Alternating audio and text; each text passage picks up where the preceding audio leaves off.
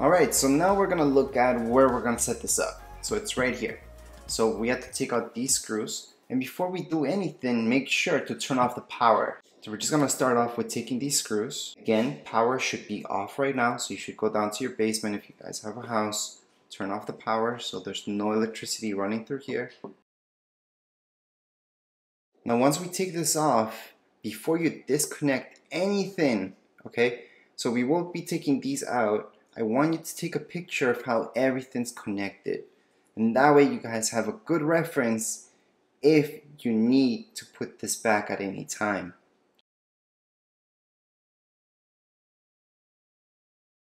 So what we want to do is take out one at a time. So we want to set up this guy first and then go for this one right here. So you may notice some pretty tricky connections, which isn't really. This one just connects up to this one because it just makes sense. It's this whole connection that we have here. Now at this stage we should move all the wires around so we can see clearly what's in here. I can see here, there's my ground over here. Now from what I can see with my particular case that my ground wires are very very small. So that means I'm gonna need to stretch that out so I can hook up my new connection. Now here's what we want to accomplish. And this is the reason why I need my grounding is would be the green. Uh, we do have the white and we do have our live and load over here. So again always take a look at the diagram and follow it as you see it. So what I'm gonna need in my own case is some extra wire. So here's some extra wire. I'm just gonna cut it around here. So inside that cable I have these three. Exactly what I need. Black white and right here my ground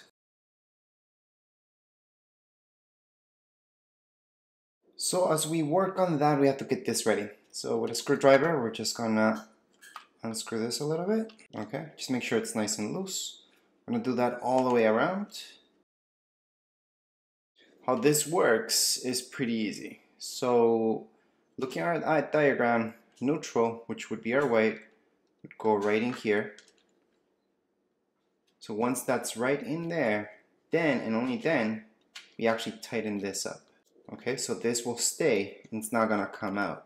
Then all we have to do is just connect this up here. And like I mentioned, we're gonna do one by one. So we're gonna do this one first and then the other one.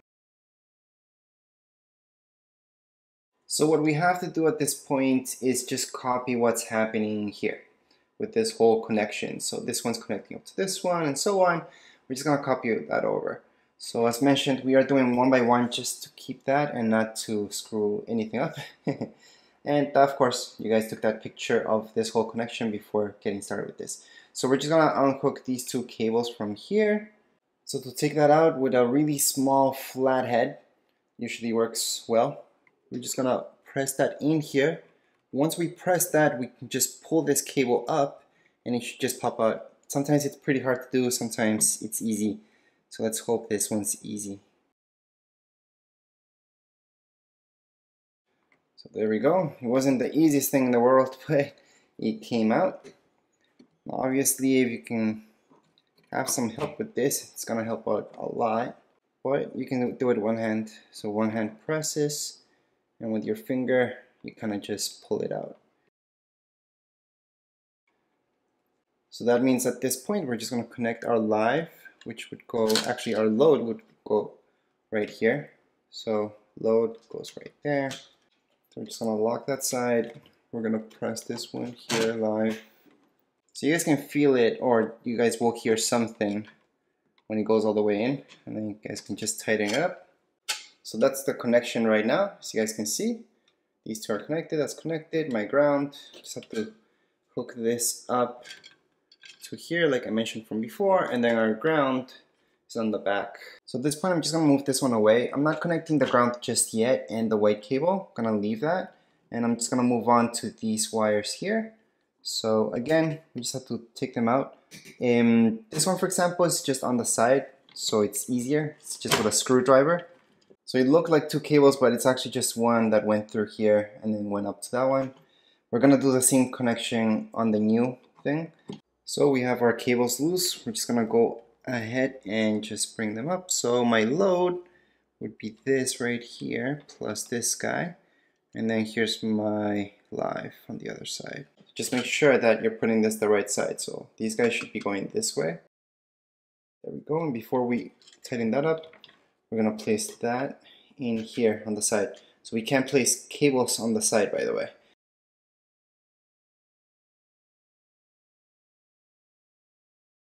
Finally got this to go in there. It was kind of tricky, the cables. Other than that, everything looks okay. Now comes the easy part, which is just hooking these guys up. Just all the whites will go together. So right here, white, white, will go up here. Okay, so that will be connected there, all the whites, plus all my ground cables, which are right here, will go to the back where all my rest of the ground is. Now for some of you this might be green by the way. Now just an edit I'm gonna do right now just because the cables were a little too short and all that. I am gonna switch around my live and load from this one, my initial setup, so just everything makes sense. And make sure as you're doing this again, we are viewing that this is upwards and it's no big deal if you do it the other way around, it just looks nicer if the Wi-Fi goes up. This point we're putting the ground together and we're going to put that first because that's all the way in the back. Then this right here, the white cable, it's the easiest one because it's all the way out here, so that's okay.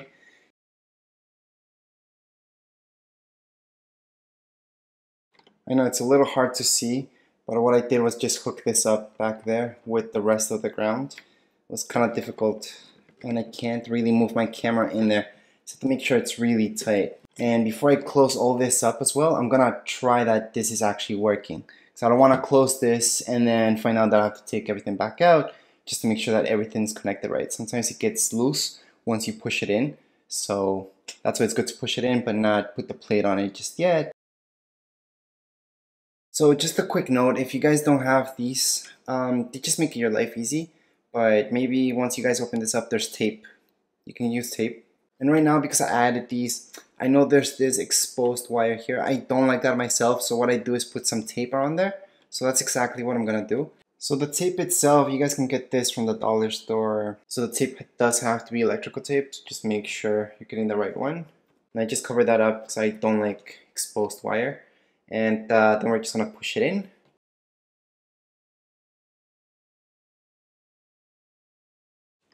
So as we push this in, things can get loose. And that's why I usually don't like to put this plate over just yet um, before I test everything out. However, everything seems to be okay. So we did get these two brand new screws from a package. However, we can use the old ones.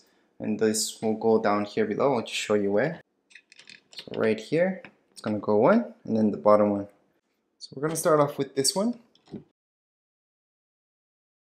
So for the bottom, I used the old one because it didn't fit. The new one did not fit down um, down here, so I had to use the old screw. So once you place those screws, you guys can just go ahead and place this over it. And to finish that off, we have these screws that came in with your plate. So at this point in time, get your iPhone, iPad, whatever you guys have with your app ready. And we're gonna turn on the power and hopefully these two will have some light. So as soon as we turn on our power, we should see these blinking like so. So just make sure that's actually happening. That means we do have some power running through this. So at this point, what I recommend is holding this down for 20 seconds until this happens.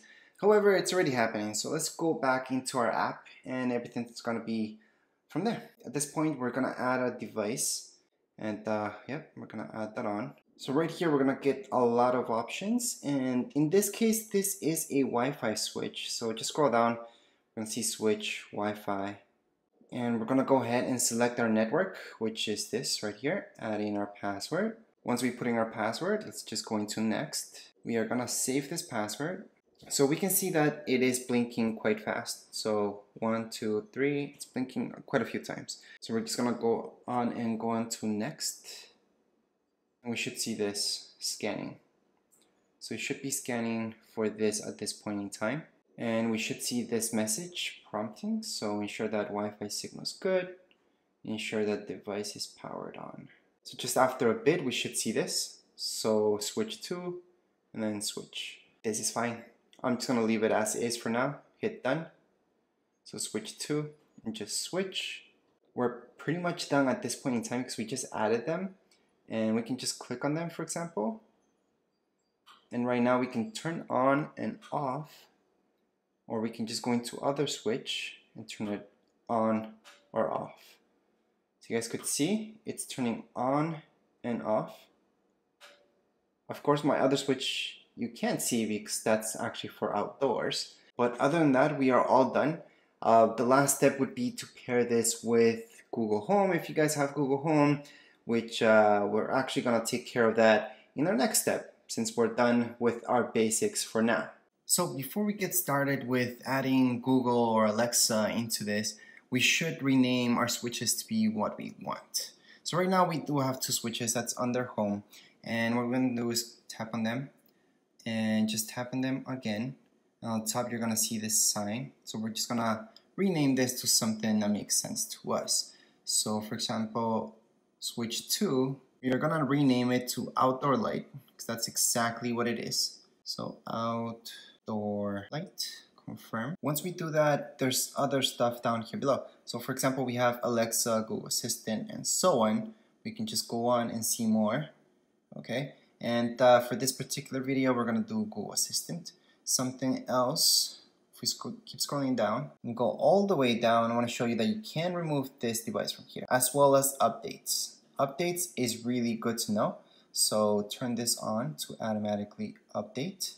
That's very important actually for both of them. You should turn on automatic updates. I usually tell you in my videos to never turn on automatic updates, but in this case, you will probably miss out a lot of updates if you don't turn that on. So we're gonna scroll up, we're gonna go into Google Assistant, we're gonna link this up. So down here below, we're gonna see link with Google Assistant. So we're gonna go ahead, press right there. Now what this will do is open up our Google Home app and then it's gonna take us here so we can link it up. So just type in your email and then your password. Once you put in your email and your password, that would be for this app, okay, not your Google Home app, but your password for the app for the Switch. And then just press unauthorize. Now on your screen, you should see this outdoor light and then switch. I haven't renamed that switch yet. I will right now. Um, however, I just want to show you with this outdoor light. So we're to choose actually both devices. Let's just start off with this one and we're to go into next. From there, it's to ask us to choose our home. Once we do that, just go over and choose which room or create a new room. So in this case, we do have front yard in here in the list. So we're going to add that on.